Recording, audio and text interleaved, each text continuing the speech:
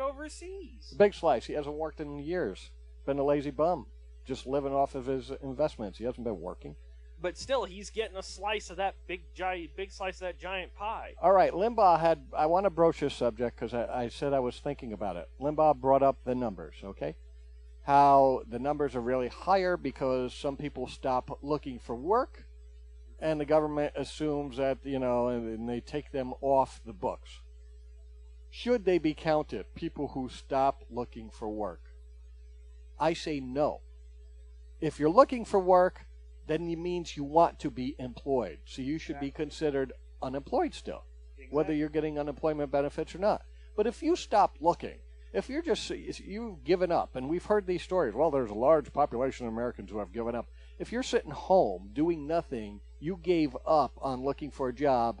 That means you don't want to be employed because nobody's going to come knocking on your door and say, uh, "Mr. Smith, you've been unemployed for 10 months. Uh, we're here to hire you."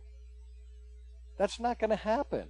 No. You have to be actively looking for a job to be considered unemployed.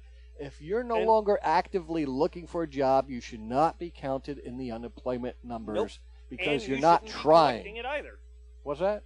And you shouldn't be collecting unemployment Well, either. no, they may they may have used up all their unemployment benefits, and but if you stopped actively looking, why should you be counted as the unemployed? You're not looking for a job.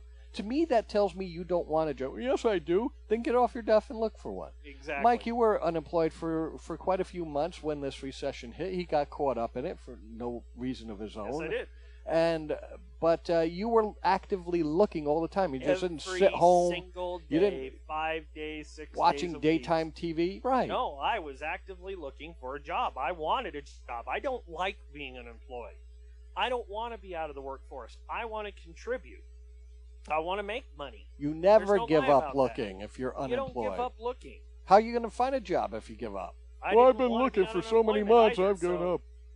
So all this crap that they talk about, well, you know, all the people that are on unemployment are all lazy bums. Hey, kiss my ass. I was one of those people that was on unemployment, and I was anything but a lazy bum. If you're looking, I would have given up all Right. my unemployment benefits if I could have had a job.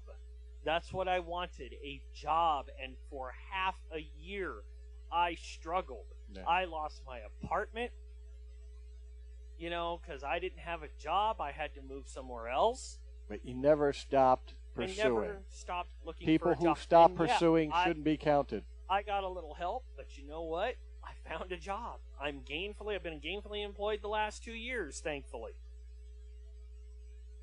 Is it a can job I've wanted? No. Is it a job I like? Not really. But you know what? I go out there, I give it 100% every day. Why? Need the money.